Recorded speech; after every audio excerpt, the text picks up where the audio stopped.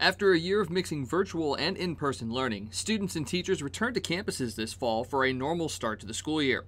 While veteran teachers have used their experience to pivot multiple times the last few years, first year teachers face an increasingly difficult transition from their student teaching experience to in class learning. In a field where new teachers leave at an increasingly higher rate, what does a first year teacher experience that may push younger teachers to leave their field so quickly? I sat down with a local teacher who just happens to be my sister to find out.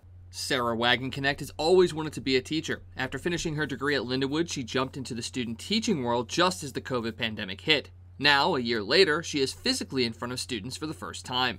It's nice to like see them smile and you kind of really know that they're understanding the material that we're teaching them.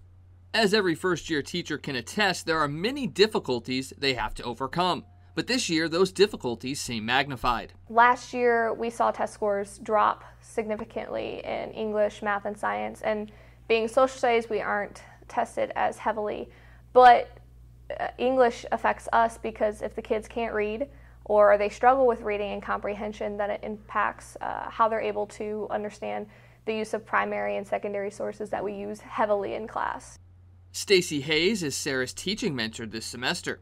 These mentors are vitally important to the growth and development of new teachers. How do they guide these new faculty members to success and help navigate the first year? We all work together to try and help one another and you know we, we like to share what we have and you know we, we just want our uh, the people that we're mentoring to feel really comfortable. According to the National Commission of Teaching and America's Future, nearly 50% of new teachers leave the profession within their first five years. But with teachers like Sarah and mentors supporting them, the numbers may start to shift back soon. For LUTV News, I'm Michael Wagenknecht.